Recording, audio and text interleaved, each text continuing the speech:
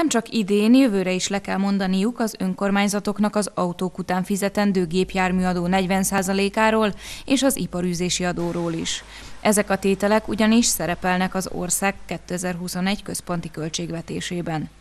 Kétjen csak a gépjárműadó a helyi adóbefizetések 30%-át adja. Ez évente nagyjából 3 millió forintot hozott eddig a falunak.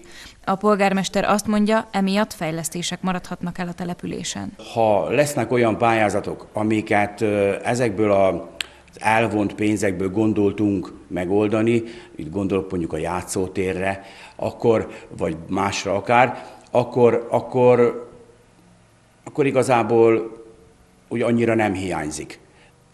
Viszont ahhoz, hogy a település tovább tudjon lépni, ahhoz nagyon fontos lett volna. Kétjen abban bíznak, hogy a kormány pályázatokkal és a normatív támogatáson keresztül visszaad majd az önkormányzatoknak az elvont pénzből. Erre van is szándék, jövőre ugyanis a tervek szerint 16%-kal több, 118 milliárd forintot kapnak majd az önkormányzatok a központi költségvetésből. Azt viszont, hogy ezt mire költhetik, az állam írja elő. Bogyiszlón rendezvények és épületfelújítások maradnak el az elvonás miatt, sőt a polgármester szerint ott még az is nehézséget okoz majd, hogy bért fizessenek az önkormányzati dolgozóknak. Minél kisebb településekre megyünk, annál inkább nincs adóbevétel, annál inkább nincs semmilyen felelhető ipar, és annál inkább kevesebb gépjármű van nyilván.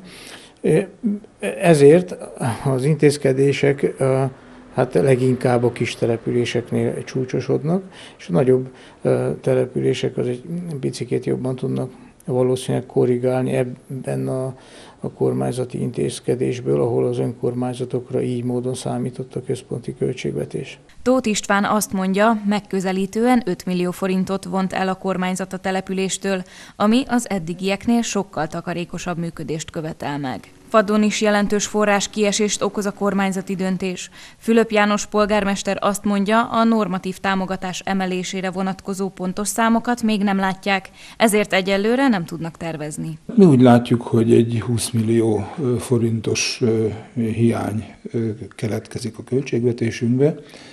Ennek a felét különböző takarékossági és tehát beruházások elmaradásával kompenzálni tudjuk a másik felét pedig majd megpróbáljuk rendkívül támogatásban elkérni a kormánytól. Szálka 15 millió forinttól esik el, mert az állam elveszi az iparűzési adót.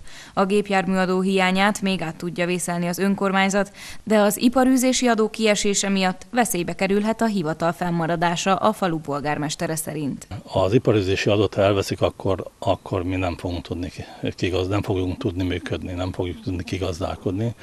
Én nagyon bízom abba, hogy ez nem fog megtörténni, vagy valamilyen szinten kompenzálni kell, mert ha ez nincs, akkor a település fenntartását, működését mi biztos, hogy nem fogjuk tudni biztosítani. A Települési Önkormányzatok Szövetségénél úgy számolnak, jövőre összesen 400 milliárd forinttól esnek el a városok és a falvak. A kormány viszont azt ígéri, hogy a modern városok és modern falvak programokon keresztül 140 milliárd forintos fejlesztési forráshoz juthatnak majd az önkormányzatok.